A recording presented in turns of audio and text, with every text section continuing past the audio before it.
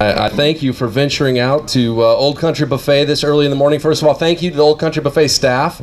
I think this is probably a little larger than your average morning crowd.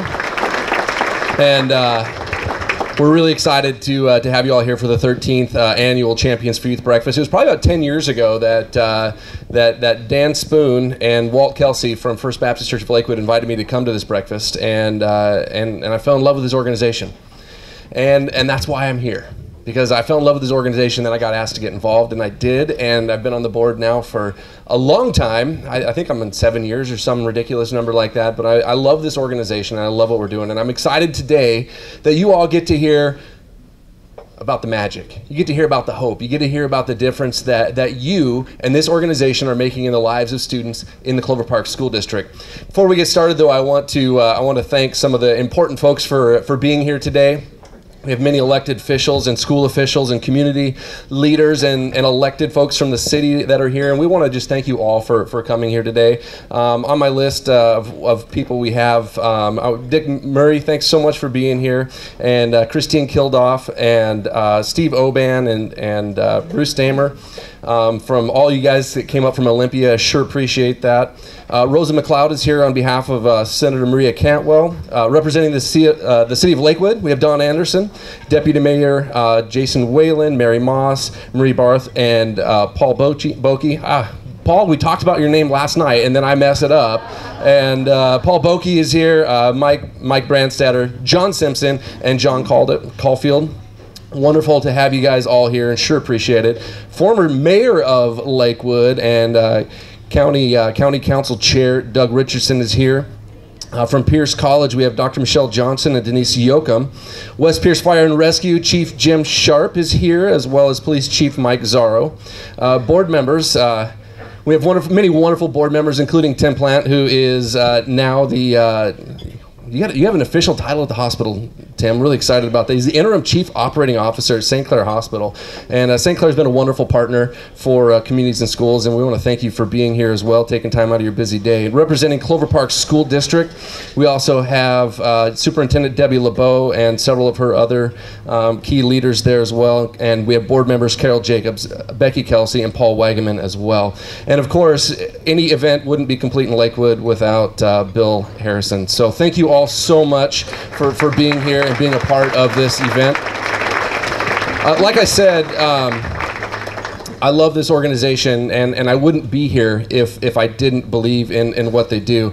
And when asked to describe what Communities in Schools does, uh, that's a big question because uh, this is a task that uh, when, when we put people in schools and we say, here, support this school, support these students, there's a lot of different nuts and bolts of what can be done. And people are going to get up here and share more about what actually happens. But I want to describe it for you in the way that I've come to best be able to describe what they do. These people are unrelenting purveyors of hope. They're unrelenting purveyors of hope. They get to believe in a student beyond what a student believes in themselves. They get to see past an obstacle in a student li- student's life and say, We can be a part of solving that. You focus on school.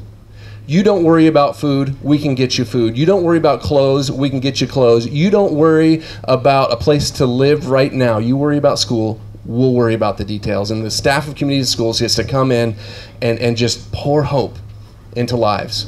I worked with students for a long time, and one of the hardest things I've ever seen in my life is the, the flame of hope extinguished in a child.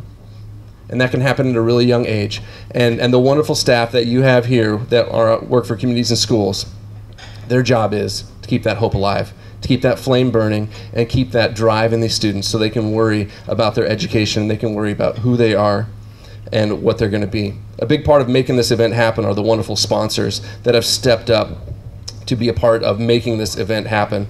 And um, it's uh, it, it, goes without saying that this year has been uh, been our largest attended year. It's also uh, been wonderful to have so many businesses step up. We've had 18 businesses that stepped up, and their their names are, are on the program and on your placemats there. And I just want to thank a few of them. Uh, $2,500. The Thompson Family Foundation. Cindy is doing wonderful work in our community, and I really appreciate Cindy. At thousand dollar level, Harborstone Credit Union has really stepped in. St. Clare Hospital, LeMay Enterprises, and Fred Meyer uh, $800. Dennis Higashiyama, who's a board member and dedicated to this community, works at the city of Lakewood and really just absolutely believes in this place. And, and Dennis, we really appreciate your support and your support and your just ongoing love for this community. $500, we have the Asia Pacific Cultural Center, Clover Park Rotary, Columbia Bank, G. Rob Cooper, uh, Lakewood First Baptist Church, Pierce College Foundation, Pierce County, Count, uh, Pierce County Community and Technical Colleges, uh, Puget Sound Orthopedic, Lakewood Ford, Rolf's Import Auto, Janet Cox. If you want to see, Janet Cox was my principal, my vice principal when I was in high school.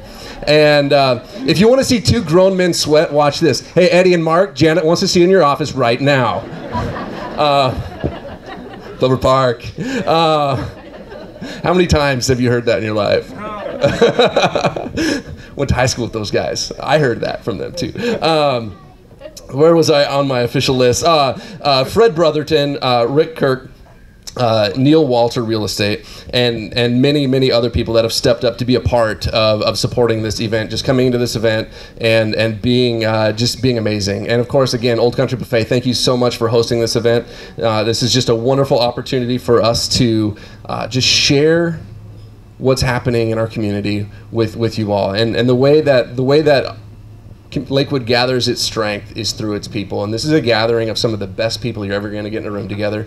And I'm so excited and so blessed to be a part of this. And I just can't wait for you to hear the stories that are going to come and the amazing, uh, amazing just life change that's happened. I'm going to bring Dave O'Keefe up here. Dave's the executive director for Communities in Schools of Lakewood, and uh, Dave's got uh, Dave's going to share a little more about uh, about what's happening in Communities in Schools, and share a little bit more about the vision of of where we're going. And there he is, Dave. Come on up, everybody. Welcome Dave O'Keefe.